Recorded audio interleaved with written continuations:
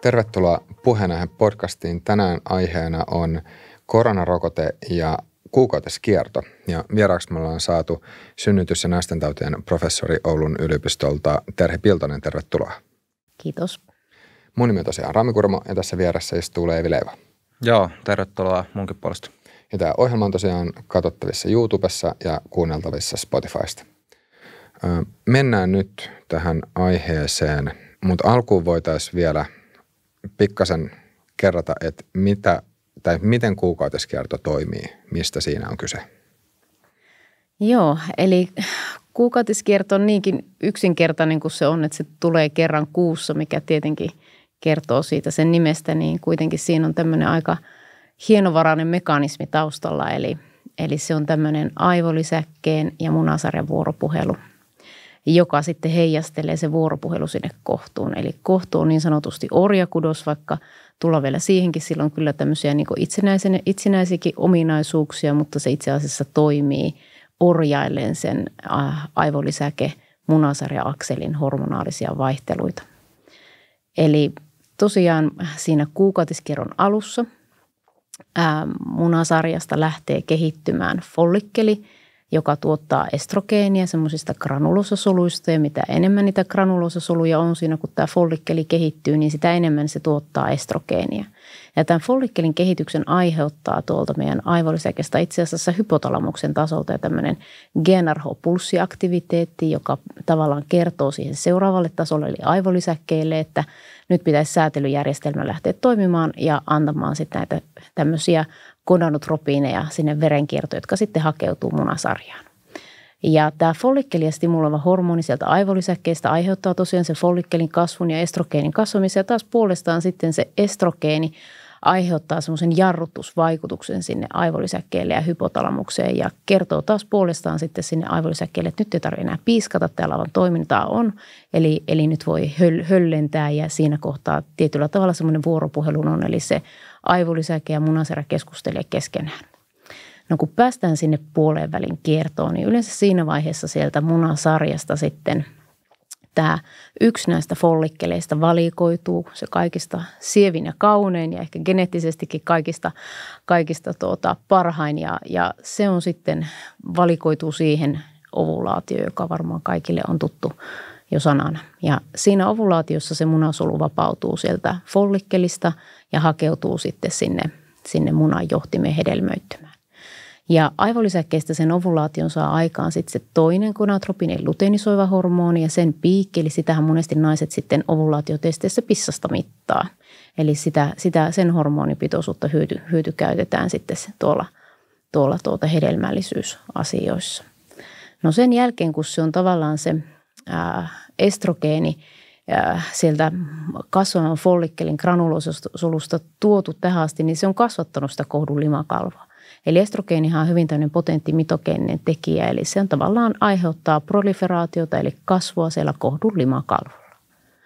Ja siinä vaiheessa, kun me päästään siihen puolen välin kiertoa, niin sen jälkeen se dynamiikka muuttuu. Eli nyt siihen ovuloituneen follikkelin tilalle syntyy keltarauhanen. Ja se keltarauhanen sitten puolestaan aiheuttaa sen, että se tavallaan blokkaa sen estrogeenin vaikutuksia. Eli se lopettaa sen kohdulimakalvon kasvun.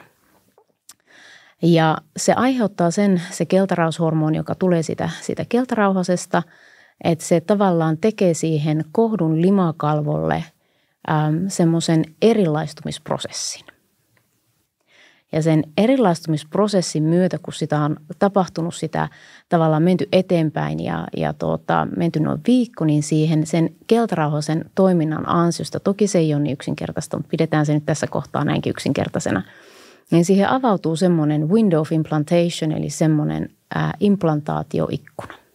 Ja se on se ikkuna auki ainoastaan muutaman päivän ja siinä ikkunan kohdassa niin alkio, jos se on sitten se munasolu hedelmöittynyt siellä – munanjohtimessa, niin sepä pääsee siinä ikkuna avautuessa nyt sitten, jos on hyvä ja otollinen hetki ja, ja sopiva, sopiva, sopivasti kaikki asiat kohdallaan, niin se pääsee siihen kiinnittymään ja raskaus voi alkaa. Mutta toki Suurimmassa osassa tapauksista ollaan ehkä ehkäisty jollain menetelmällä, tässä kohtaa kondomilla, jos kerta on, tai jollain muulla kierrukalla tai muulla, että, että, että tässä ei ole hormonaalista tuota ehkäisyä tässä kierrossa, jota selitän, niin käytössä. Niin, tai sitten siellä on voinut olla joku muu syy, minkä takia hedelmöittymistä ei ole tapahtunut niin siellä ei tulekaan sitä viestiä siitä hedelmöityksestä nyt sille keltarauhaselle, vaan se keltarauhanen saa viestin, että tähän ei tule nyt syntyä, tässä ei ole syntynyt tässä kierrossa raskautta ja tapahtuukin sen keltarauhasen surkastuminen.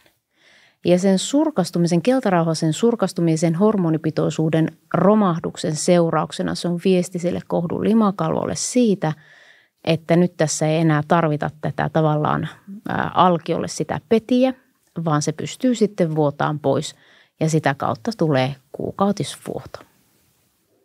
Joo, tuossa tuli tosi hyvä selastus, että miten toi prosessi pääpiirteittäin menee, mutta miten sä tiivistäsit vastauksen tähän kysymykseen, eli mitä tehtäviä kuukautiskierto toteuttaa naisen kehossa? Hmm. Eli kuukautiset ainoastaan kuukautisihan tarvitaan. Itse asiassa kuukautisia ei tarvita, sanotaanko näin itse asiassa toisinpäin. Eli kuukautisethan on naiselle aika epänormaali tila. Että jos me mietitään hyvin primitiivisesti, niin, niin naisenhan pitäisi olla raskaana tai imettäjä raskauden imetyksen aikana naisella ei ole kuukautisia. Eli tavallaan se aivolisäke on, on alasajettuna tiettyjen hormonien toimesta ja, ja, ja koska kuitenkin sitten näitä kiertoja – meillä naisilla on, niin, niin tietyllä tavalla sehän on mahdollisuus aina uusia sitä kohdulimakalvoa ja tehdä tavallaan hyvä peti sille alkiolle. Eli kuukautisia tarvitaan raskaana olemiseen tai raskaaksi tulemiseen. Ei, ei muuta varten, eli ei ole mitään puhdistautumista tai muuta, vaan normaalitilanteessa, niin jos naisella ei olisi mitään ehkäisyä käytössä, niin naisella ei olisi kauheasti kuukautisia, vaan hän olisi todennäköisemmin raskaana tai imettäisi ja, ja olisi siinä, siinä mielessä niin sanotusti amenoreassa. Mutta tuota, nykyaikana naiset synnyttää aika vähän lapsia ja käytetään erilaisia ehkäisymenetelmiä ja, ja, ja siinä mielessä naisella on paljonkin kuukautiskiertoja, mitkä tietenkin aiheuttaa myös naisilla aika paljon sairastavuutta, että, että se on tavallaan se kolikon toinen puoli. Onko muuten tämä pikkasen poikkeaa tästä nyt otsikon aiheesta, mutta tekee mieli kysyä, kun on asiantuntemusta paikalla, niin kun sanoit just on, että se normaali tila tavallaan niin kuin evolutiivisesti on ollut se, että ollaan raskaana tai mm. imettämässä, mutta sitten taas just nykyaikana niin kuin länsimaissa ainakin, missä syntyvyys on tosi matala ja näin, niin sitten ollaan tavallaan siinä lainausmerkeissä epänormaalimmassa tilassa enemmän. Ja onko se, tai onko siitä tullut jotain havaintoja, että onko tämä niin kuin alkanut sitten vaikuttaa tähän itse kuukautis kiertoon populaatiotasolla jotenkin? Tiedetäänkö me siitä, että olisi jotenkin tullut muutoksia tai jotain? Mm, hyvä kysymys. No sanotaanko näin, että evoluutio on aika lyhyt. Ajattelen sitä, että jos me nähdään, että miten esimerkiksi menarke-ikä on muuttunut, että oikeastaan siinä kuukautiskierron pituudessa nähdään vaan ehkä enemmän häiriöitä. Ehkä niitä ääripäitä on hankala sanoa, että sitä dataa kuukautiskierrosta on aika vähän.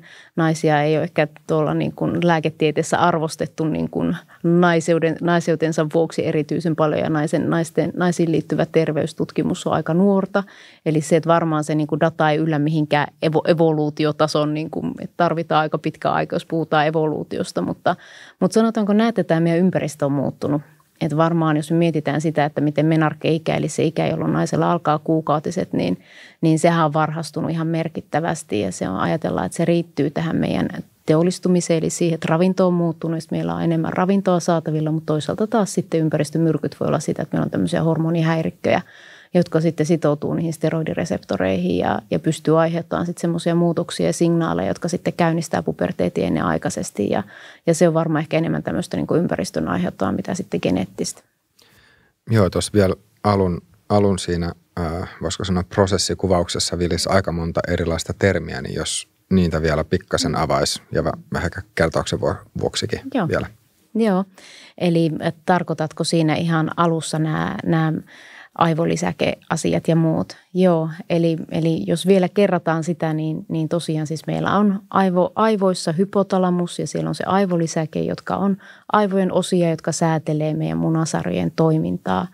Ja sitten tämä hormonaalinen vuoropuhelu näiden munasarjojen ja aivolisäke ja ylempien aivo, aivoosien välillä, niin, niin se hormon, hormonaalinen tuotanto, joka sieltä munasarjasta tulee, niin se kontrolloi pääosin sitä kohdulimakalvon toimintaa, kasvattaa sen ja taas toisaalta antaa sen signaalin sille kohdulimakalvolle irrota, mikäli raskautta ei tule. Eli tavallaan se valmistaa sen pedin siihen, eli kohdulimakalvo on peti alkiolle – ja senhän tietenkin sen prosessin täytyy olla hyvä, että se peti on hyvä, että se on osa sitä onnistunutta raskautta. Mutta niin kuin sanottua, että näin ei muutoin tarvi kuukautisia. Nainen tarvii kuukautiset silloin, jos aikoo tulla raskaaksi ja se on tosi tärkeää, että ne kuukautiset on ja kuukautisethan pystyy tosiaan meille kertomaan aika paljon meidän terveydestä muutenkin. Joo, ja sitten oli vielä tämä follikkeli. Että jos... Joo, eli munarakkula, kyllä. Eli, eli munasarjoissa, jos pääsee joskus puolison kanssa vastaanotolle tai puoliso tuo gynekologin vastaanotolta kuvan, jossa on munasarjat kuvattuna, niin siellä on semmoisia pieniä vähän niin kuin haulikoreikiä siellä munasarjassa ja ne kuvaantuu tavallaan semmoisina semmoisina äh, tavallaan mustina kohtina, semmoisina tavallaan semmoisina pyöre, pyöreinä läiskinä siellä molemmissa munasarjoissa ja mitä enemmän niitä on, ne, ne kuvastaa niitä follikkeleita ja tosiaan suurimman osan sisällä on sitten tämä munasolu kehittymässä ja kasvamassa. Joo, pitäisikö sitten siirtyä vähän tähän, että miten sitten tämä rokote on?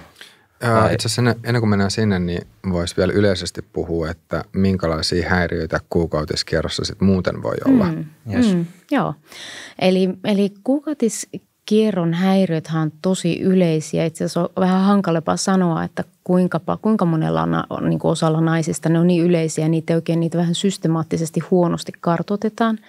Eli se, että, että koska just kohta alan luettelemaan niitä kaikkia tekijöitä, jotka siihen sykliin vaikuttaa, mutta tuota, ajatellaan tosi muutamia tutkimuksia ää, tuota, plarasin, niin niissä jopa 40 prosenttia naisista ilmoitti niin kuin viimeisimpien kuukausien aikana kuukautiskierron häiriöitä. Eli, eli puhutaan tosi isosta ja yleisestä asiasta – ja nyt tosiaan nykyaikana, koska me ollaan menty tähän, että naisilla on ne kuukautiset ja, ja jopa lääkefirmat ajattelee, että, että kun pillereitä, yhdistelmäehkäisypillereitä kehitetään, että olisi hyvä, että siellä on säännölliset kuukautiset. Että mä edelleen odotan sitä dataa, että aletaan katsoa, että miten ne kuukautiset pysyy pois niillä pillereillä, että se olisi paljon modernimpaa, modernimpaa hoitoa – mutta tosiaan, kun niitä kuukautiskierrohäiriöitä tulee, niin, tai kun niitä on näitä kuukausia, niin myös niitä häiriöitä esiintyy. Ja, ja tuota, meillä on useita eri tiloja, jotka sitä pystyy aiheuttamaan. Eli ensinnäkin varmaan ihan ylipaino. Ylipaino, meillä rasvakudos tuottaa estrogeenia ja niin kuin mä sanoin, että se on tavallaan jarru sinne aivolisäkkeelle – kertoo, että, että tavallaan älä, älä piiskaa enempää tai älä, älä säätele sieltä enää enempää, niin myös rasvakudoksen tuottama estrogeeni on jarru. Eli jos on paljon rasvaa, siellä on myös lisääntynyt estrogeenituotanto ja sitä kautta se häiritsee sitä herkkää säätelyjärjestelmää. Eli, eli jo, lihavuus on yksi, yksi syy kuukautiskierron häiriöille. No sitten sieltä löytyy ihan esimerkiksi ikä, mikä on hyvin yleinen. Eli, eli kun naiset – naiset ikääntyy, niin silloin se vuoropuhelu ei enää olekaan niin säännöllistä. Se alkaa vähän yskimään se munaserä. Se ei ehkä tuota enää niin paljon sitä jarruttavaa estrogeenia. Ja siellä tapahtuu muitakin niin kuin munaseren sisäisiä muutoksia, hormonaalisia muutoksia. Ne aiheuttaa sen, että se säätelyjärjestelmä alkaakin vähän nilkuttaa ja, ja sen jälkeen siellä ei enää sitä semmoista rytmikästä vuoropuhelua olekaan, vaan tulee sitten häiriötekijöitä ja, ja erilaisia kuukautiskierrohäiriöitä. No sitten meillä on erilaisia hormonaalisia tiloja, kuten monirakkulainen munasarjaoireyhtymä, jossa on tämmöinen synnynnäisesti ää, nainen syntyy vähän ehkä, että siinä on taipumusta tämmöiselle – miessukuhormonin liikatuotannolle ja siellä on myös hyvin voimakas se munasarjan follikkeleiden kumuloituminen sinne munasarjan on todella hienot ja isot ne munasarjat. Siellä on paljon niitä follikkeleita ja ne myös aiheuttaa sen, että siellä on se semmoinen sisäinen kontrolli. Siellä on semmoista antimylleriä hormonia muun muassa, joka nostattaa sitä tavallaan sen – Ähm, sitä kynnystä, että tämä aivolisäkkeen follikkeli ja stimuloiva, edistävä hormoni pääsisi vaikuttaa. Eli ne tavallaan pysähtyykin ne, ne follikkelit tiettyyn kehityskaareen ja siellä on, saattaa olla jopa niitä kuukaudet, ei pyri ollenkaan. Kilpirauhashäiriöt on erittäin yleisiä aiheuttamaan infektiot, se, että siellä kohdussa on jotain ongelmaa, myomia, polyyppejä, ähm, mitäs muuta. Erilaiset nämä hormonaaliset ehkäisyvalmisteet itsessään aiheuttaa jo kuukautiskierrohäiriöitä osalle. Ne ei kuitenkaan säännöllistä sitä kiertoa, vaikka suurimmalle osalle ne sen tekeekin. Eli kyllä meillä löytyy aika paljon erilaisia syitä, miksi naisilla on vuotohäiriöitä. Mutta taas toisaalta niin kuin sanottu, että nyt jos ne kuukautiset on ja ei käytä yhtään mitään, mikä, mikä niitä pois pitelisi, niin taas toisaalta, että jos ne ah, tulee luonnostaan ja, ja niiden kanssa haluaa pelata, niin, niin tosiaan tämmöiset häiriöt sitten erinäisistä syistä, niin on myös tietyllä tavalla semmoisia merkkejä, joihin naiset kyllä reagoi.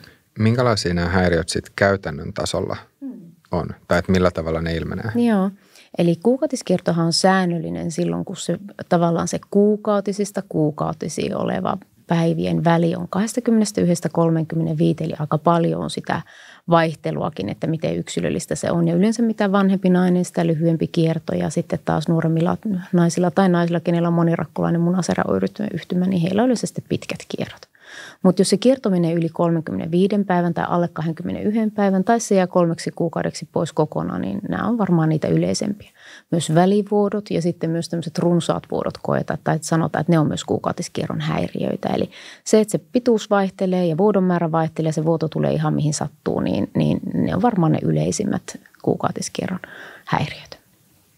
Joo, no sitten ehkä voisi myös yhden termin tässä vielä avata, äh, valkovuoto – Hmm. Mitä se on ja millä tavalla se liittyy kuukautisiin? Joo, eli valkovuotohan on emättimen soluja suurimmaksi osaksi, eli myös emättimessä on rauhasia ja, ja tavallaan sieltä emättimestä tulee myös sitten sitä tavallaan sitä, ne solut tietenkin emätin tavallaan monesti sanotaan, että emätin putsaa itseään, mutta näin se on. Siellä on erittäin, kun se on tämmöistä levyepiteeliä, niin se uusiutuu hyvin voimakkaasti. Luonnollisesti, kun yhdyntöjä on, niin, niin sen tarviikin olla semmoinen hyvin kerrostunut – ja silloin sieltä irtoaa paljon niitä soluja, taas siellä on rauhasia, jotka myös pitää sitä emättimen pH tasapainossa ja kosteena ja, ja kaikki se niiden rauhasten tuottama ää, erite ja sitten ne solut, ne muodostaa yhdessä sen valkovuodon ja sehän on hyvin tämmöinen hormonaalisestikin säädelty tietyllä tavalla, että, että me tietää, että no ensinnäkin estrogeeni ylläpitää niitä rauhasia siellä emättimessä, että jos estrogeenitasot tipahtaa niin kuin iäkkäämmillä naisilla, niin myös emättimeen tulee kuivuutta ja, ja sitten tulee erilaisia oireita – mutta tosiaan normaalisti valkovuoto on semmoista kultavaa valkoista vuotoa, joka, joka ei yleensä tuoksu yhtään millekään ja se voi olla hyvinkin runsasta ja silti se voi olla täysin normaalia. Mutta sitten jos siihen tulee joku infektio, niin yleensä se sitten on poikkeavaa laadultaan tai sitten hajultaan. Ja onko siinä jotain tämmöistä vastaavaa syklisyyttä kuin mitä esimerkiksi kuukautisissa mm. sitten aina? Kyllä siinäkin pystyy selkeästi näkemään, että esimerkiksi siellä ovulaatiovaiheessa se keltarauhanen sen jälkeen tekee siitä tavallaan se ei, se ei välttämättä ole itse asiassa emäti, vaan se on sieltä kohdun kaulalta oleva lima, joka muuttuu. Ja se on hyvin semmoista sitkasta, kaunis, oikein semmoinen kirkas, kirkas äh, ihan semmoinen, se ei ole vetinen, vaan se on aivan semmoinen todella tiukka limainen vuoto, joka on. Ja monet naiset itse asiassa pystyy serviksiltään tunnistamaan sen, sen ovulaationkin tai sen ovulaation jälkeisen ajan, jolloin se muuttuu tavallaan se, se lima erilaiseksi. Ja osa käyttää sitä ihan tämmöisiin keinoina tavallaan niin kuin omaa hedelmällisyyttä seurata, mikä on ihan hyvä asia, jos toivoo raskautta, niin ihan yksi, yksi mahdollisuus muiden joukossa. Joo, itse asiassa tuossa tuli vielä yksi sana keltarauhanen, niin mikä mm. se olikaan?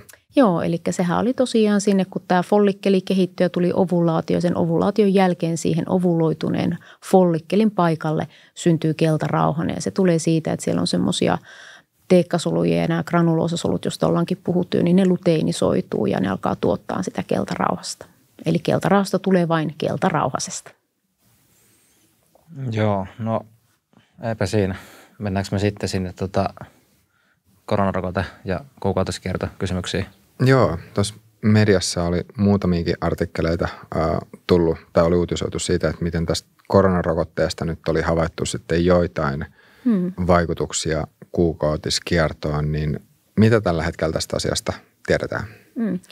No tuota, valitettavan vähän tiedetään. Että tietyllä tavalla se, että nämä kuukautiskierrot on kuitenkin aika yleisiä ja ne kertoo, kertoo monille siitä, että minkälainen se terveydentilanne sillä naisella on, niin, niin sanotaanko näin, että valitettava harva tutkimus on ottanut sen aiheekseen vähän niin kuin prospektiivisesti, eli tavallaan ennakoivasti jo, että oltaisiin päätetty, että okei, nyt tältä alueelta naiset raportoi systemaattisesti näitä asioita, vaan ehkä en, enemmän menty niin, että yhtäkkiä naiset huomaa, että, että mulla taitaa tämmöistä kuukautiskierron häiriöitä ja sitten on vähän ollut, että no liekö tulla nyt mitään semmoista, että onhan näitä nyt näitä. Ja osa on ollut tosi tietenkin niin huolissaan ja kärmeissäänkin siitä, että heitä ehkä ei ole otettu tosissaan. Että, että siinä mielestäkin harmittavaa, että, että kyllähän tietenkin tämmöiset huolet on ihan todellisia, että jos on aina säännöllinen kierto ja siihen yhtäkkiä tulee jotain yskimistä, niin tokihan se laittaa heti naisen miettimään.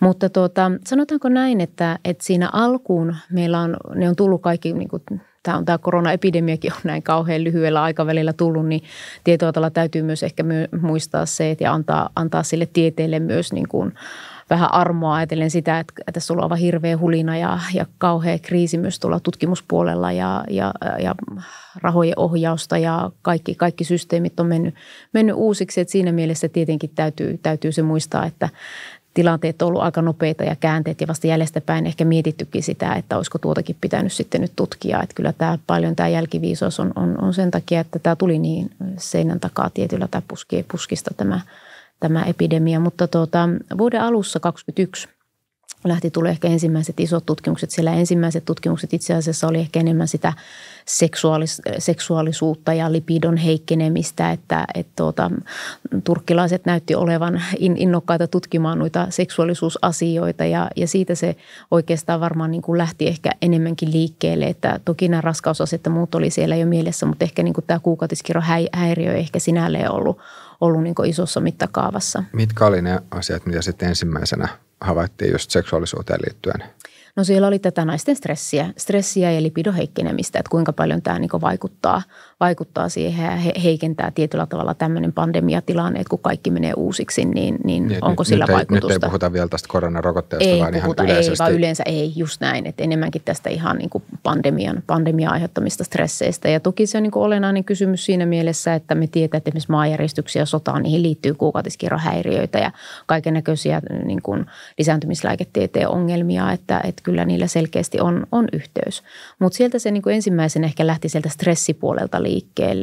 Ja tuota, toki sitten alettiin myös puhumaan sitä, että, että pääseekö naiset ehkäisyn piiriin, pääseekö ne raskauden keskeytyksen piiriin, että hyvin semmoisia konkreettisia, nimenomaan sitä ei ehkä niinkään ajateltu jälleenkään kerran mitään mekanismia, ajateltiin vaan, että miten tämä yhteiskunta menee kiinni ja tietyt toiminnot menee kiinni, että, että se oli tietenkin oli tärkeää turvata nämä asiat asiat sitten ympäri, ympäri tuota maailmaa ja selkeästi osoitettu, että niillä on ollut heikentävä vaikutus ehkäisyyn ja raskauden eh, niin kuin keskeytysmahdollisuuksiin, että, että tietyllä tavalla se vääristää tilastoja, että raskauden keskeytystilastot on tietyllä tavalla notkahtaneet, mutta se ei osassa maailmaa, se johtuu siitä, että se pääsy, pääsy sitten on ollut huono ja samoin sitten tosiaan ehkäisy, ehkäisyvalmisteiden saatavuus on ollut huono. Mutta tuota, tosiaan alkuun se lähti siitä, mutta siellä vuoden alussa oli, oli sitten 21, niin alettiin tav- tavallaan, meillä on sellaisia applikaatioita, isoja tekijöitä tuolla, jotka sitten tavallaan niin kuin retrospektiivisesti, eli taaksepäin katsottuna, niin alkoi analysoimaan sitä, että, että onko naiset jonkun tietyn ajan sisällä todenneet kuukautiskierrohäiriöitä ja sitten yritti muistella sitä, että milloin ne on niitä rokotteita ottanut, että se oli ehkä ne asetelmat ei aivan, aivan niin täydellisiä ollut, että, että tuota, mutta niissä jollain tavalla ensimmäistä kertaa näyttäytyisi, että naiset itse raportoi sitä, että, että, että jonkinnäköistä vaihtelua ehkä siihen kuukautiskiertoon on tullut sen jälkeen, kun he saanut rokotteet. Ja niissä suurimmissa tutkimuksissa oli ehkä kuin 5000 naista muistaakseni, jotka, jotka siellä alkuvuodesta oli, oli Irlannista ja Englannista. Mutta sen jälkeen sitten nyt vuoden alusta on tullut enemmänkin. Sitten on tullut pari, pari isompaa tutkimusta, jossa on myös tuhansia naisia. Ja jälleen kerran niissä on sitten toinen on Norjasta. Sitä ei näyttänyt vielä, se ei näyttänyt olevan vielä ihan julkaistunakaan. Mutta tuota, siinä on nimenomaan tämmöisiä niin kuin lisääntymislääketieteen asioita ja tätä rokotusasiaa on tarkasteltu ihan nimenomaan prospektiivisesti. Ja siinä on muistaakseni vain 6000 6000 naista ihan hedelmällisessä iässä olevaa. Ja toinen on sitten jenkkitutkimus, joka on tehty tämmöisellä applikaatiolla, jolla, jolla tosiaan on sitten pystytty tietyllä tavalla träkkäämään sitä, sitä tuota rokoteajankohtaa ja sitten niitä kuukautiskierrohäiriöitä. Että sekin on tämmöinen prospektiivinen, mikä tietenkin on hyvä asia, että se on paljon systemaattinen. Mutta se, mikä on tietenkin mielenkiintoinen näissä kahdessa, että ne raportoi samansuuntaisia muutoksia. Et toinen ei raportoinut ollenkaan kuukautis, äh, kuukautis tavallaan vuodon määrän lisääntymistä, mutta toinen raportoi. Ja toinen raportoi kierron lyhenemistä ja toinen raportoi kierron pidentymistä. Eli se, että tämä niin kuin tietyllä tavalla ehkä kertoo siitä, että siinä datassa on jotain variaatiota, että, että tietyllä tavalla se, että, että miten se data kerätään, niin on aika, aika tärkeä, tärkeä pointti ja, ja tuota, mutta se, että ehkä se, mikä niistä on niin tärkeä anti, on se, että jotain kuukautiskierron häiriöitä naiset kokee näiden rokotteiden jälkeen. Varsinkin, jos ne tuli ne rokotteet, ensinnäkin ne liittyi niihin ensimmäiseen ja toiseen rokotteeseen, kolmannen jälkeen niitä ei enää havaittu juurikaan, että se on se ensimmäinen ja toinen rokotte. Varsinkin, jos ne saatiin tosi lähellä toisia, eli tavallaan niin kuin saman syklin sisällä, niin silloin erityisesti niitä, niitä häiriöitä sitten esiintyi. Ja tuota, siinä amerikkalaisessa tutkimuksessa niin se ähm, tavallaan se kierron ää, ähm, muutos oli alle yksi päivää.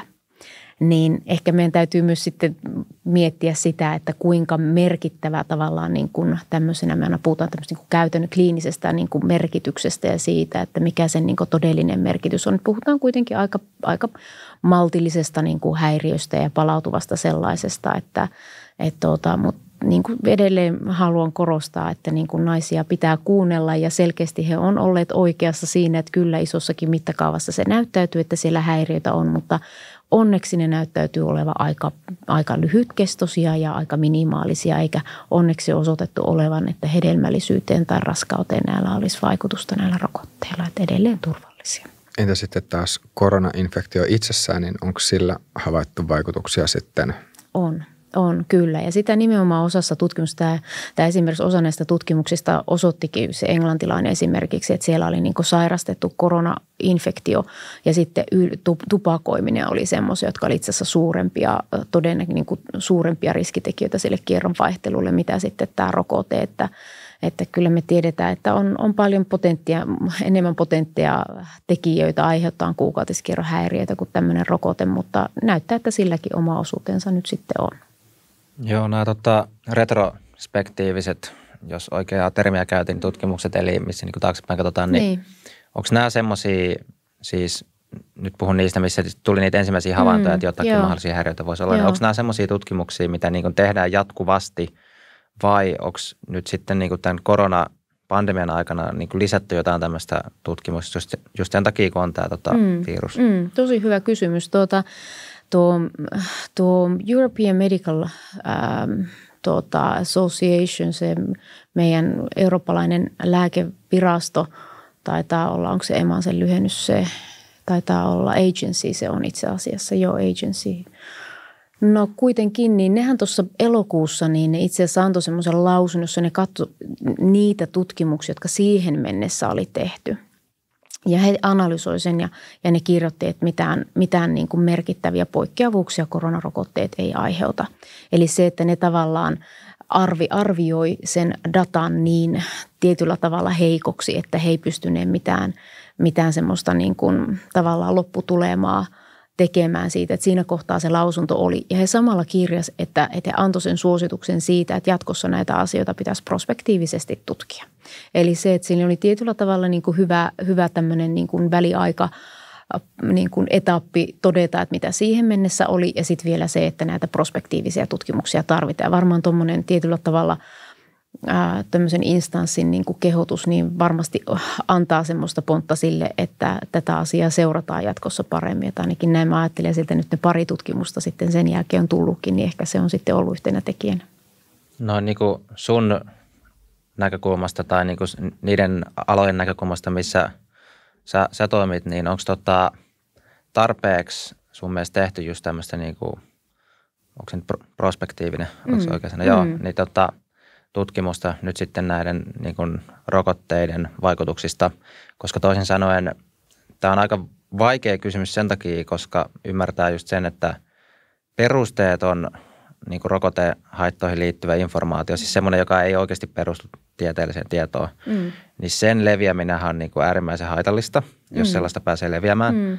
Mutta samaan aikaan on äärimmäisen haitallista, jos tällä, tällä syyllä niin kuin ei tutkita tarpeeksi niin kuin niitä mahdollisia haittavaikutuksia ja sitten jäiskin selvittämättä jotakin, mitä oikeasti sitten on. Niin onko mm. sun näkökulmasta niin kuin tarpeeksi nyt sitten lähdetty tutkimaan näitä rokotehaittoja No mä ajattelisin, että jos mä, jos mä mietin tätä lisääntymislääketieteen puolta, niin ehkä ne kuukautiskierrohäiriöt jäi sieltä vähän, vähän niin kuin sivujuonteeseen sen takia, että sinne varmaan otettiin huomattavasti tärkeimpiä asioita, kuten niin kuin fertiliteetti ja, ja, ja ihan raskaus.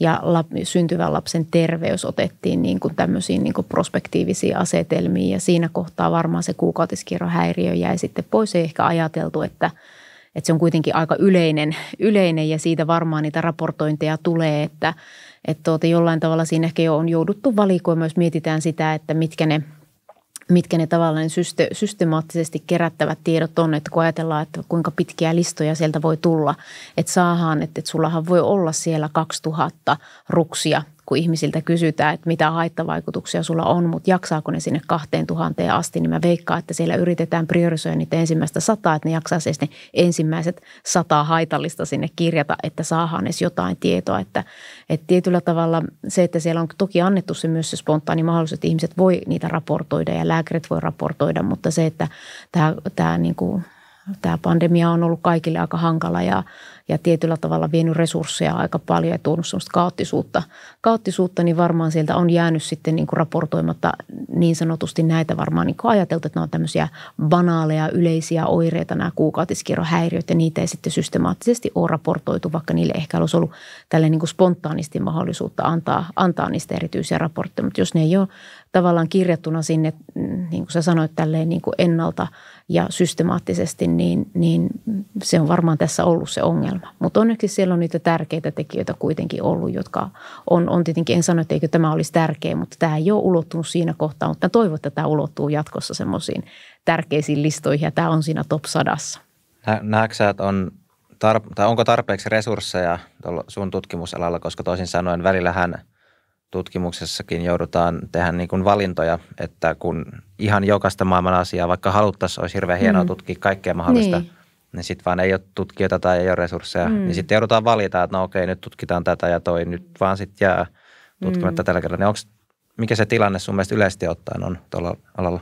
Tarkoitatko lisääntymislääketiedettä? Niin, kyllä ne alat, missä sä toimit. No tota, Sanotaanko näin, että meillä on varmaan semmoinen historian, historian painolasti edelleen tämmöisessä niin kuin naisten terveystutkimuksessa, että, että jos ihan historiallisesti katsotaan, niin, niin naisen anatomia ei ole koettu erityisen mielenkiintoiseksi. Ja taas toisaalta sitten se kuukautiskierto on aiheuttanut siihen semmoista kompleksisuutta, mikä ehkä on sitten nykypäivänä monesti oikeastaan ja esimerkiksi eläinkokeisiin valitaan sitten urospuolisia eläimiä sen takia, että niillä ei kiimakiertoa ole. Että, että kyllä siinä semmoista tietynlaista vinoutumista edelleen on.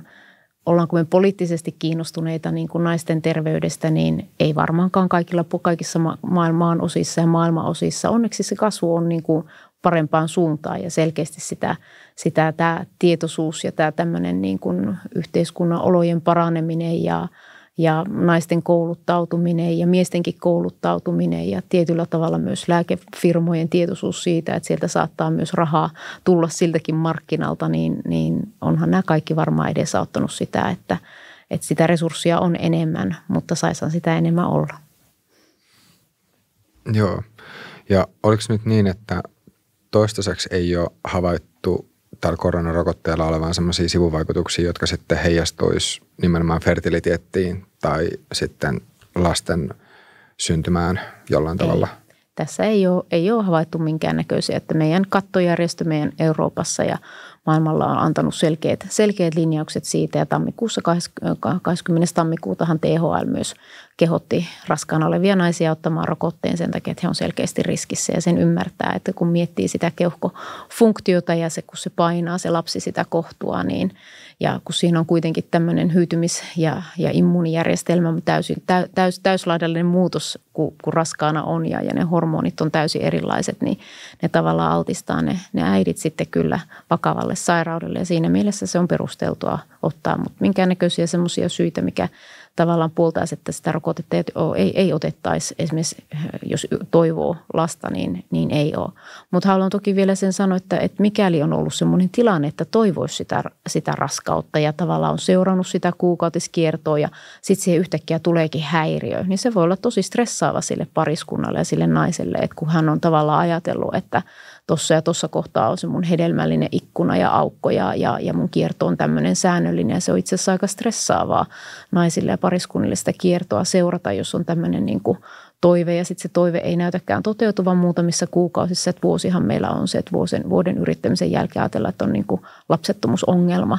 Mutta se, että monille se vuosi tuntuu aika pitkälle ja senkin jälkeen osaa ei hakeudu hoitoon he edelleen niin kokeilee, niin se, että siinä seurataan sitä kiertoa, on todella stressaavaa elämää, elämää voi olla. Ja siinä, jos tulee tämmöisiä häiriöitä, niin mä voi ymmärtää, että se aiheuttaa semmoista huolta ja murhetta ja, ja, ja vähän kiivastumistakin varmaan, että tämmöisiä häiriöitä tulee sitten näihin – näihin tämmöisiin lääkeaineisiin liittyen. Onko vielä, onko vielä jotain semmoista ajatusta, että mistä nämä koronarokotteen aiheuttamat häiriöt voi johtua? Että jotain semmoista Konkreettista. Ää, joo, jotain semmoista konkreettista joo. selitystä. Mm. No useitakin ehdotuksia on. Mä yritin tuossa plarata vähän huonosti, ehdin niitä katsoa, mutta tuota, sanotaanko ne, että tämähän koronarokote ei ole ainut, jossa näitä kuukautiskierrohäiriöitä niin kuin on todettu, että myös HPV-rokotteissa on kanssa ja nämä on kuitenkin perustuu immuunivasteen niin kuin tavallaan hetkelliseen muokkaamiseen ja jos me mietitään, että mitä siellä kohdulimakalvolla tapahtuu, niin se ei ole pelkästään nämä hormonit, niin kuin mä sanoin, että se on huomattavasti monimutkaisempi prosessi ja siellä on mukana myös tämmöisiä immunologisia tekijöitä, eli, eli puolustusjärjestelmän tekemisiä. Jos me tavallaan mennään ja, ja, ja vaikutetaan siihen puolustusjärjestelmään, niin on hyvin todennäköistä, että me, me pystytään aiheuttamaan myös muutoksia sitten mahdollisesti sitä kautta siellä kohdulimakalvossa. Voisiko se vaikutus olla keskushermoston kautta? Kyllähän osittain nämä stressivaikutukset, niistähän suuri osa itse asiassa tapahtuu – tämän, tämän herkän säätelyjärjestelmän kautta niin, että se aivolisäke itse asiassa häiriintyy se vuoropuhelu, että se tavallaan on kortisolihan stressihormoni ja se blokkaa tavallaan sitä, sitä linkkiä sen aivolisäkkeen ja tai itse asiassa vieläkin ylempien osin sen hypotalamuksen ja sen aivolisäkkeen välillä ja sitä kautta häiritsee sitä munaserän säätelytoimintaa. Ja, ja iso osa varmaan niin kuin tämmöisiin kriiseihin ja muihin liittyen niin, niin liittyy varmaan tähän tämmöisen stressihormonia aiheuttamiin säätelyjärjestelmän muutoksiin. Mutta se, että nämä on ollut kuitenkin aika yleisiä ja sitten kuitenkin siinä on tämä vuotohäiriö, joka kuitenkin on hyvin lyhytaikainen ja ja ihan, ihan aika minimaalinen jotenkin tuntuu, että, että olisiko se kuitenkin sitten paikallinen, paikallinen ollut se, se muutos, että, että ehtiikö säätelyjärjestelmä noin äkkiä siihen, siihen tavallaan siihen muutokseen mukaan, niin hankala sanoa. Onko siinä jotain tekemistä meidän hyytymisjärjestelmän kanssa, että kuitenkin tietenkin tämmöinen mm, vasta-aineiden nousu ja tämmöinen niin kuin pieni, pienimuotoinen niin kuin, äh, koronainfektion mimi, mimikoiminen, vaikka ei, ei varsinaisesti, mutta siinä kun niitä vasta-aineita tulee, niin nehän tietyllä tavalla promoaa joitain, joitain muutoksia, niin onko sillä hyytymistekijäjärjestelmän kautta jotain vaikutuksia hankala sanoa, mutta ehkä tällä hetkellä se suurin, äh, suurin niin kuin syy ajatellaan olevan siellä immuunijärjestelmässä ja, ja sen aiheuttamassa hetkellisessä muutoksessa. Onko nämä kuukautiskiertohäiriöt sitten ollut kuinka pitkäaikaisia? Mitä tästä rokotteesta on sitten voinut Joo. tulla? Eli tosiaan siinä oli nämä viimeisimmät isommat tutkimukset, niin puhutaan yhdestä päivästä. Eli se, että mikä se oli 0,9 vuorokautta. Mutta mut siis Eli, se, että, kuinka, että jos tämmöinen häiriö tulee, niin aa, niin onko se... Säilyykö se sitten niin, pitkä? Ei, pitkä? se palautuu seuraavassa kierrossa heti. Eli nämä on erittäin ohimeneviä. Eli se, että näissä ei ole, ei ole ajateltu, että näissä on pitkää pitkäaikaista. Että kyllä nämä on ollut ihan niin kuin sen yhden tai maksimissaan kahden kierron. Niin kuin, että näissä on toki seurattukin aika lyhyesti, mutta kyllä suuri osa niistä naisista tosiaan sanoi, että tämä palautuu. Eli, eli se on se hyvä uutinen, on se, että nämä oikeasti palautuu käytännössä saman tien. Että se liittyy hyvin läheisesti siihen koronarokotteen niin kuin ajankohtaan. Ja, ja sen jälkeen sitten näyttäytyy sille, että se palautuu kyllä ihan normaali. Että sen takiakin ajattelin, että tässä on varmaan tämmöinen hyvin ohimenevä, ohimenevä muutos, muutos joka, joka sitten kyllä palautuu. Eli jos tiivistäisi, niin tiivistänkö oikein, että siis on havaintoja siitä, että tulee häiriö tähän kuukautiskiertorytmiin, joka on pieni alle vuorokauden, mm. uh, mutta sillä ei ole mitään terveydellistä haittaa varsinaisesti.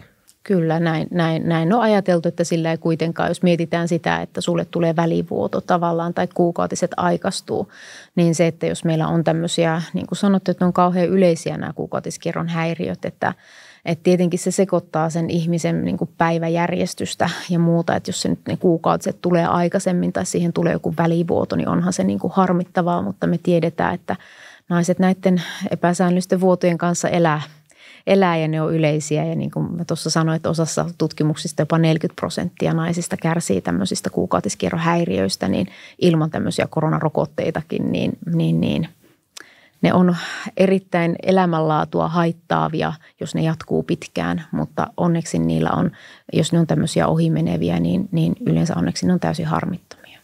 Joo, tiedätkö, onko tämän saman teeman ympärillä nyt sit vielä käynnissä jotain merkittäviä tutkimuksia, joista ikään kuin voidaan odottaa, että sieltä nyt sitten on lähitulevaisuudessa tulossa tutkimustuloksia? Hmm. Kyllä mä uskon, että tämä on musta, tämä, tämä on vasta ihan alkua, että kyllä mä uskon, että tämä on nämä ensimmäiset paperit kun tulee, niin näiden jälkeen tulee, tulee vielä useita ja tähän jatkuu vuosia näiden kaikkien datojen analysoiminen ja muu, että että tuota, kyllä, kyllä tämä tulee varmasti niin kuin lisääntyyn se ja mennään vuosi eteenpäin, niin meillä on varmaan huomattavasti paremmat paremmat tuota resurssit keskustella tästä vieläkin syve, syvällisemmin ja miettiä ehkä niitä, niitä todellisia mekanismejakin sitten vielä paremmin.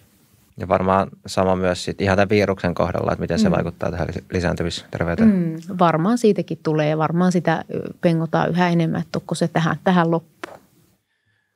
Niin, menikö niin, että, että joissain näissä ä, turkkilaisissa tutkimuksissa oli sitten havaittu, että ä, just että libido olisi heikentynyt – Joo, joo, kyllä niissä tavallaan se stressi oli selkeästi semmoinen, mitä nämä naiset koki tämän aikana. Et toki nämä on hyvin, että meillähän on ollut mikä aika mielenkiintoinen ollut, että korona, koronahan ei ole, tätä epidemiaa ei ole vaikuttanut meidän syntyvyyteen samalla tavalla, mitä esimerkiksi Italiassa tai Euroopassa. Että se, että tämä oli tämmöinen, ei ollut niin dramaattinen se, että selkeästi tuolla Italiassa esimerkiksi, missä niitä kuolin lukuja oli aivan erillä, erissä mittakaavassa, niin se selkeästi teki ihmisille, nyt en muista että mitkä ne varsinaiset syyt, niin että siinä on varmaan niin näitä tämmöisiä psykososiaalisia syitä ja, ja muita mietitty sen taustalla olevasta ja semmoista epävakautta ja muuta ja tietenkin varmaan taloudellista ahdinkoa ja muuta, mikä on vaikuttanut ihmisten perhe ää, tavallaan perheen niin kuin kasvattamissuunnitelmiin ja siellähän todellakin syntyvyyden lasku on ollut merkittävä näiden, näiden niin kuin epidemia-aikaa. Ja meillä taas Suomessa, niin mehän ei olla pitkää aikaa lisännytty näin paljon, että tietyllä tavalla myös se, että minkälainen se yhteiskunnallinen tila on ollut, että meillä ei tietyllä tavalla se missään vaiheessa tämä epidemia päässyt niin katastrofaalisiin lukemiin, että se olisi tavallaan aiheuttanut semmoista kriisiä ja, ja, ja, ja näin, että se on ehkä meidän etu siinä mielessä, että ihmiset taas toisaalta – ehkä enemmän käsitti, että siinä on mahdollisuutta ehkä painoa enemmän siihen ydinperheeseen ja alkaa miettimään, että mitä mä elämältä oikeasti haluan ja, ja alkaa suunnittelemaan sitä, sitä perheen lisäystä että, että, tai ylipäätään perheen perustamista. Että meillähän tämä on vaikuttanut positiivisesti syntyvyyteen, mikä on ollut hieno asia. Siis tämä koronaepidemia. Kyllä. Osittain se, toki siellä on myös, me ollaan tehty vuosia sitä semmoista, äm, semmoista jalkautumista siitä, että, äh, ja yritetty nostaa keskustelun keskiön tietenkin tätä meidän yhteiskunnan asenteita niin kuin perheen perustamista kohtaan. Ja meillä on lakiuudistus tulossa perhevapaista kesällä ja, ja tuota, että tämmöiset asiat varmaan vaikuttaa siihen, että miten, miten pariskunnat ja, ja perheet miettii sitä, että mikä heidän mahdollisuus on, on tavallaan saada jälkikasvua. Että, että kyllähän tätä työtä on tehty pitkään, mutta veikkaa, että monille se voi olla lähtölaukaus oli se, että tietyllä tavalla elämä pysähtyi tietyllä, jo, jossain määrin siinä ympärillä ja oli ehkä enemmän aikaa miettiä näitä asioita.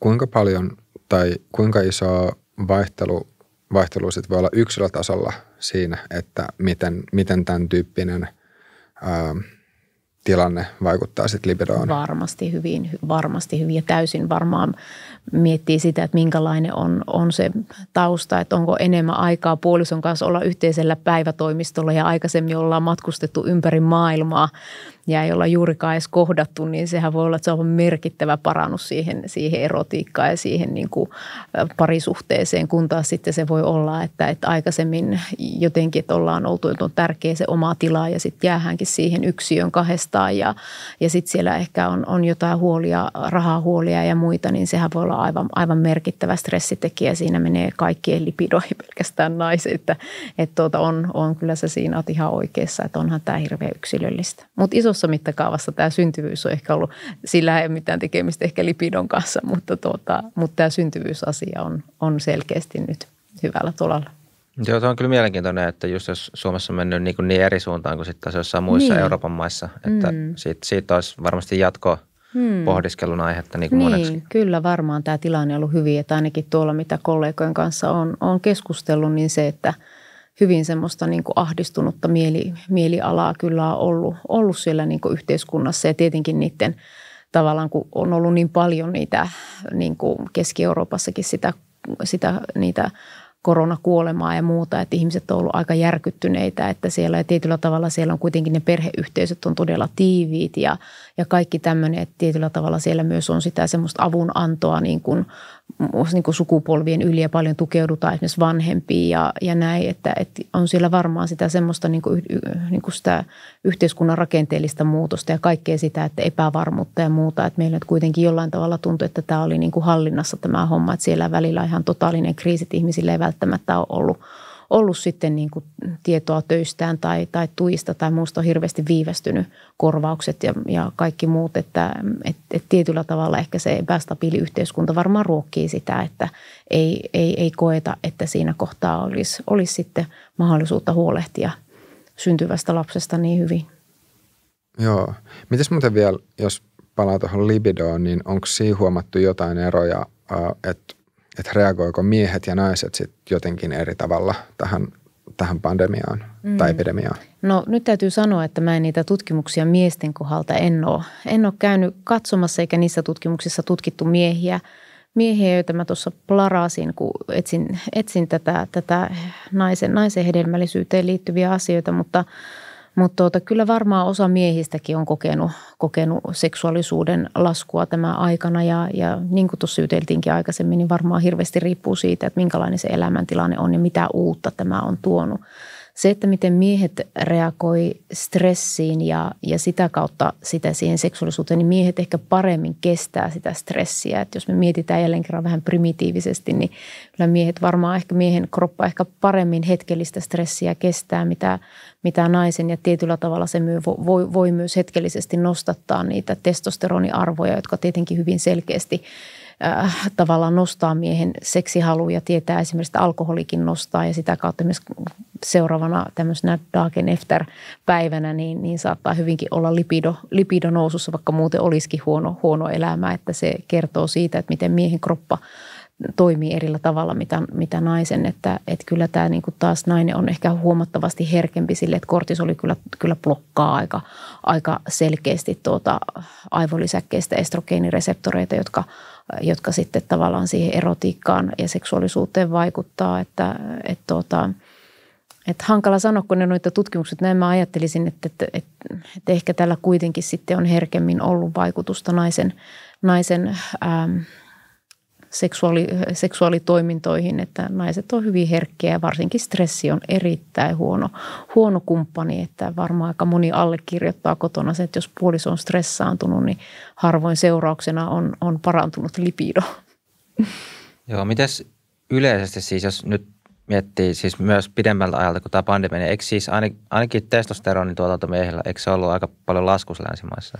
Mm, ja, ja onko myös se... libido sitten, onko siinä joku mm, laskuva trendi no, ollut? Se on aika hyvä kysymys, että meneekö ne niin kuin käsikäteen se, että siellä on niin kuin assosiaatio vielä tarkoita sitä, että ne menee käsi todella, että siellä on niin kuin tämmöinen niin sanottu kausaliteetti, että, että joku tulee ensin ja sitten toinen, mutta, mutta kyllähän pitkittynyt stressi miehelläkin on huono asia ja me tietää, että se vaikuttaa – esimerkiksi niin kuin sokeriaineen vaihdunta ja aiheuttaa insuliiniresistenssiä. Ja sitten taas kun mietitään sokeriaineen vaihduntaa ja miehen lipidon, niin nekään ei ole kyllä hyvä asia, että, että tuota, sekin tietyllä tavalla kääntää sitä miehen hormonituotantoa tai ehkä enemmän sinne estrogeenipuolelle ja, ja, ja se ei ole taas sitten hyvä testosteronin kannalta, että, että tuota, et kyllä varmaan tuo niin pitkittynyt stressi on huono, huono mole, molemmille ja, ja varmasti tämä on aiheuttanut, osahan tietenkin näistä muutoksista saattaa tulla sen mukana, että, että elintavat on huonontuneet. Että meillähän tietenkin – Suomessa on siinä mielessä, niin kuin me asutaan aika, aika kuitenkin maltillisesti. Tässä Helsingin ympäristössäkin on, on, vaikka mä oon tuolta Oulusta, niin meillä niitä metsiä siinä on hyvinkin lähellä ja liikuntapaikka. Mutta tässäkin kyllä niin kuin maailman mittakaavassa, niin suurkaupungin lähellä on tosi hienoja liikuntamahdollisuuksia. Nyt tuntuu, että koronaepidemia on varmasti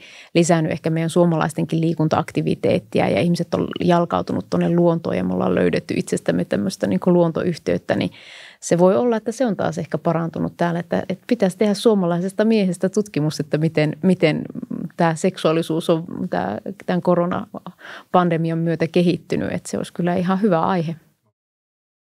Toi on niin kuin mielenkiintoinen, koska just sanotaan, että elintavat huonontunut ja se on ehkä niin vaikuttanut. Hmm.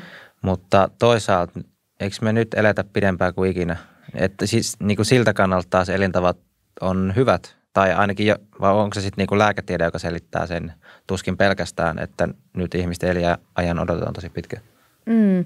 No sanotaanko, että meillä varmaan niin kuin meillä on ehkä ollut hyvät mahdollisuudet parantaa omaa, omaa, e, omia elintapoja tässä korona-aikaa. Että muissa maissa varmastikaan se ei ole ollut ihan sama, että siellä on pitkiä lockdowneja ollut ja keskustoissa ja tuolla suurkaupungeissa, missä ei ole mahdollisuutta ehkä urheilla samalla tavalla. Että meillä se ehkä on ollut mahdollisuuttakin varmaan parantaa vielä omaa kuntoa ja, ja näin, mutta tuo, jos me puhutaan siitä elinajan odotteesta, niin – niin Jenkissähän tämä on kääntynyt nyt jo laskuun koronan myötä. Eli siellä ollaan saavutettu todennäköisemmin toistaiseksi ainakin niin kuin eliajan odote, että se, se ei tule enää niin kuin hetkeä ainakaan palaamaan siihen, että siellä – selkeästi nyt tämän koronan myötä vanhusväestö kuolee, niin se, että eliajan odote, että mielenkiintoista on nähdä, mikä se meillä on. Että, että voisin kuvitella, että vaikuttaa myös meidän eliajan odotteeseen tämä, että ikäihmiset saa, saa koronainfektio ja menehtyy siihen, niin pakkohan se jossain lukemissaan näkyä. Että tähän asti meillä on mennyt aivan, aivan hyvin ja on pystytty tavallaan nipistämään ja, ja nostamaan sitä eliajan odotetta, mutta tosiaan ehkä nuo jenkit tulee tuolta nyt ensisijaisesti tai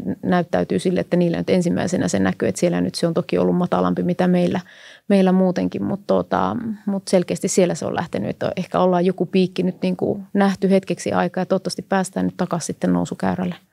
Onko siitä muuten vielä minkäännäköistä dataa, että millä tavalla korona tai koronarokote olisi vaikuttanut miehillä siittiöiden tuotantoon? Nyt en osaa sanoa. Eh, tuota, mä luin sen, mikä on meillä. Meillä on tämmöinen eurooppalainen iso järjestö, joka kattaa itse siinä jäsenistöä ihan ympäri maailmaa. Ja se on maailman suurin fertiliteetti, äh, fertiliteettiä ähm, tavallaan promoava yhdistys, jonka, jonka alla on siis eri terveydenhuollon asiantuntijoita ja kaikki tavallaan instanssit, mitkä liittyy, liittyy tavallaan hedelmällisyyteen. Ja heidän äm, tässä viimeisimmissä, mä luin sen uusimman suosituksen, niin siellä sanottiin, että mitään semmoista – tutkimustulosta ei joka osoittaisi, että, että hedelmä, ihmisen hedelmällisyyteen näillä rokotteilla olisi vaikutusta. Eli, eli se, että tuota, uskon, että he on katsonut myös sen miesdataan, mutta nyt valitettavasti itse en ole sitä ihan viime aikoina menepäs kotiin ja katson sen saman tien, mutta tuota, en usko siitä varmasti olisi isoja, isoja otsikoita ollut, jos, jos jotain tuli. Se nimenomaan, jos puhutaan hedelmällisyydestä, niin kyllähän se kattaa sekä miehen että naisen, että meillä hedelmällisyys, jos mietitään niin kuin lapsettomuusasioitakin, niin sieltä on ihan yhtä iso osa hedelmällisyydestä tai hedelmättömyydestä on, on mies, miehen puolelta ja toinen taas sitten naisen puolelta, että näin se menee, että se on hyvinkin tasainen, vaikka monesti naiset siitä niin stressiä ottaa, jotenkin näyttäytyy ehkä naisten, naisten asemat, kyllä, kyllä se on niin kuin sekä miehet että naiset siihen osallistuu. Suomessa siis oli se tilanne, että syntyvyys nyt tämän epidemian aikana on pikkasen noussut, mm. mutta onko sitten lapsettomuushoidoissa nähty mitään muutosta tai mm. sillä puolella? Mm, tuo on hyvä kysymys. Meillä on, meillä on tullut muutos näiden sukusolu, ähm, tavallaan lahjoitettujen sukusolujen käytöstä. Eli se, että meillä on ollut mahdollisuutta nyt jakaa sitten niitä myös tuolta meidän, meidän julkisen terveydenhuollon puolelta. Ja se uudistus tuli just tähän koronahetkeen. Eli se, että me ollaan sitä, se uudistus on tullut just, just samaan aikaan, niin on hirveän hankalaa. Toki tietenkin THL pystyy erikseen raportoimaan se, että mikä osa niistä on näitä lähisukusoluja ja mitkä taas muuta. Kysyntähän kasvaa koko ajan. Eli se, että lapsettomuushoidoille on koko ajan kysyntää ja, ja se varmaan johtuu siitä, että ihmiset ehkä – rohkeammin hakeutuu ja sitten taas toisaalta meillä on enemmän selittämätöntä lapsettomuutta, mikä johtuu osittain varmaan siitä, että ihmiset odottaa niin pitkään sitä perheen perustamista, että sieltä tulee sitten ikä, ikäasiat vastaan ja se hedelmällisyys ei enää ole samalla tavalla ja se, he täyttää tavallaan sen vuoden yrittämisen kriteerin aikaisemmin. Tuota, Mutta varmaan osittain tosiaan tämä, että hakeudutaan herkemmin ja sitten nämä lahjasukusolut on, on varmasti syy, että miksi tavallaan sitten – hedelmällisyyshoitojen määräkin on lisääntynyt. Mitään semmoista niin kuin massiivista niin kuin juoksua ei ole, ei, ei ole ollut, mutta selkeä kyllä nousuja. Ja varmaan ehkä osalla pariskunnista on ollut aikaa asiaa miettiä ja ajatella, että nyt olisi, ne on kuitenkin osalle aika, aika silleen, sanotaanko, että, että, että tietenkin miettiä, että miten se sopii ne hedelmällisyyshoidot siihen kaikkeen elämän kiireisiin ja muuhun. Ja nyt kun ne kiireet loppu, niin ehkä on ajatuskin kääntynyt siihen, että pystyy jopa edistämään niitä asioita. Mutta tietyllä tavalla tosi positiivinen asia kyllä tämä perheiden, perheiden perustaminen ja, ja kasvaminen, niin se on ollut mukava asia, että ihmisillä on uskoa siihen, että, että tuota, siinä ne lapset menee ja ne on positiivinen asia. Yes, mutta hyvä. Hei, kiitoksia vierailusta Kiitos. oikein paljon. Ja Kiitos. Kiitos kaikille katsojille ja kuulijoille. Jos tykkäsitte jaksosta, pistäkää peukkuja, ottakaa kanava tilaukseen ja me nähdään ja kuullaan ensi jaksossa.